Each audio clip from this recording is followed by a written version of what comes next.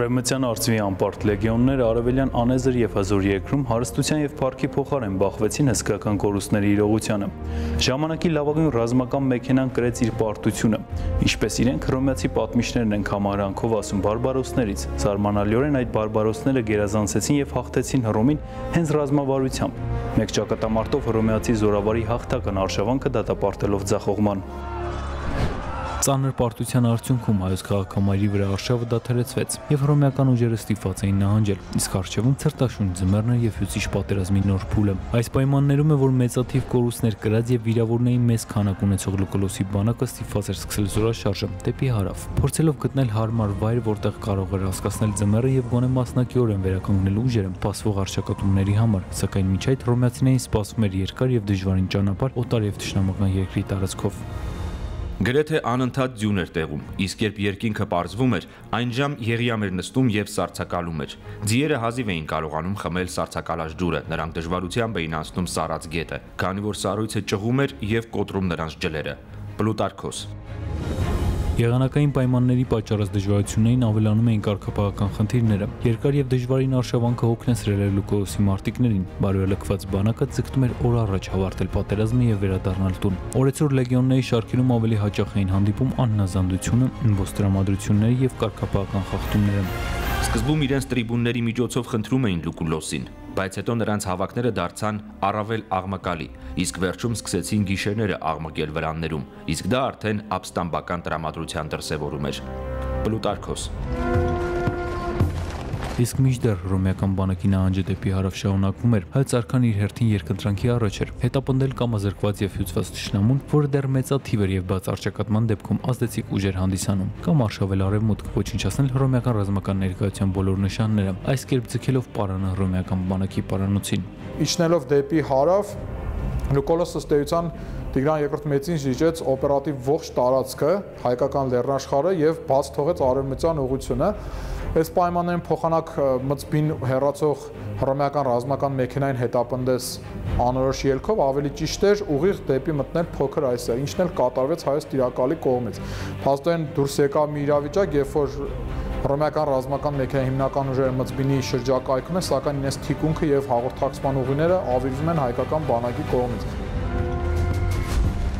Ծանրագույն ռազմերթից հետո Լուկուլոսն իր լեգիոններով ի վերջո ասավ հայկական խոշոր քաղաքի Մծմինի Պարիսպների մոտ։ Մոտ 1 ամիս տևած պաշարման ընթացքում ամրոցի կայազորի համառ եւ հերոսական պայքարի շնորհիվ հետ մղվեց բազմակի առավելություն ունեցող հռոմեացիների հարձակումները։ Սակայն ինչպես եւ Տիգրանակերտի դեպքում դավադրության արդյունքում Տշնամուն հանձնվեց Պարիսպի մի մասը, ինչից հետո հռոմեական զորքը ներխուժեց քաղաք։ Փողոցային մարտերից հետո հայկական ուժերը ամրացան Միշնաբերդում եւ շարունակեցին դիմադրությունը։ Մի քանի ձախողված գրոհներից հետո Լուկուլոսն առաջարկեց հայերին առանձինաթափելու լքել քաղաքը։ Իդեպ, հայկական կայազորն իր հետ տարավ նաև բոլոր դրոշներն ու տարբերանշանները։ Մարտերի ընթացքում Լուկլոսի բանակը կորցրել շուրջ 5000 մարտիկ, մինչդեռ հայերի կորուստը էր մոտ 1000 զինվոր։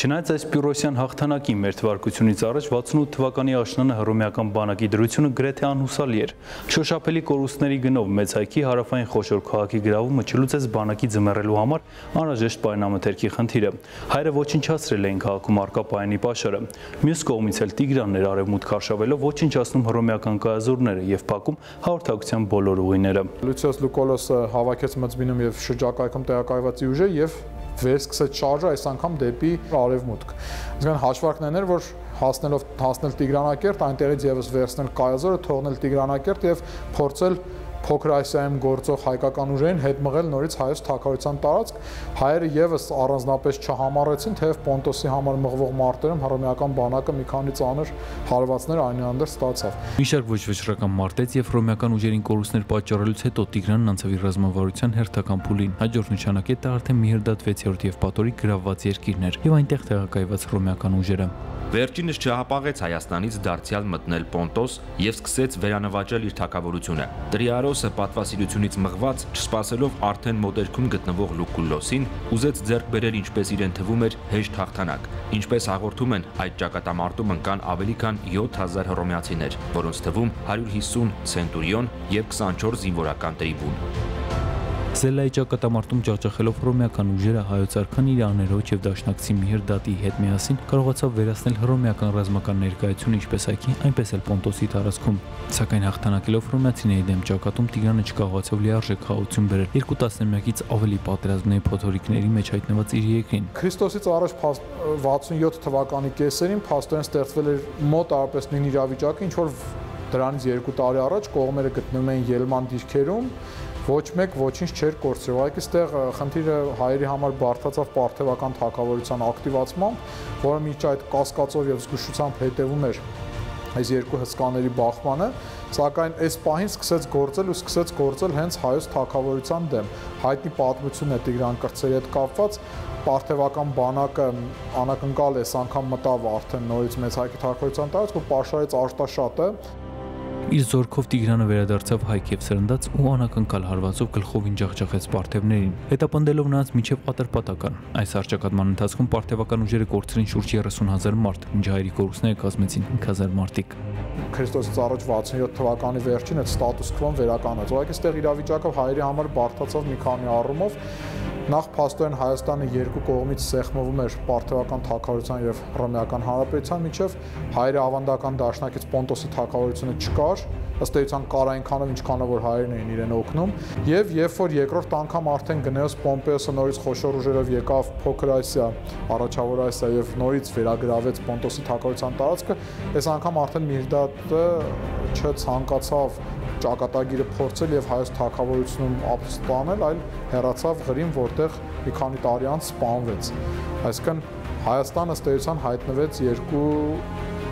ճակատով պատերազմելու առաջ ցաներ ռազմաքաղաքական իրավիճակում Տիգրանը կասեց առավել կշռադատված եւ մեծ արքային վայել որոշում գիտակցելով պատային իրավիճակը Տիգրանը սերից անցավ գրչի մարտավարությանը Այս պայմաններում շատ հետաքրքիր գործեց Տիգրան II մեծը, որը ցույց է տալիս նրա ազգային դիմագիծը եւ մոտեցումը ռազմաքաղաքական հարցերին։ Տեսեք, եթե Միրդադ 6-րդ եւ Պատորը այնքանով էր Պոնտոսի արքա, ինչքանով որ դա իրեն ժառանգական հասած մի պետություն էր եւ փաստորեն նա առանց իրեն չէր պանտկերացնում Պոնտոսի թակավորությունը, ապա Տիգրան II մեծը մի տիրակալ էր, որին բաժին էր հասել արդեն 2000-ամյակ գոյություն ունեցողի ժողովրդին առաջնորդելու դերը եւ նա գիտակցում էր, որ չպետք է մինչև վերջին հայ զինվորը հանուն իր փառասիրական նկարտումների դիմադրել, պայքարել եւ ավելի ճիշտ է այդ պահին այդ երկու հակամարտող ուժերի միջև հավասարակշռություն գտնել այն հաշվարկով, որ այդ ուժերը մեկա շատ շուտով իրար հետ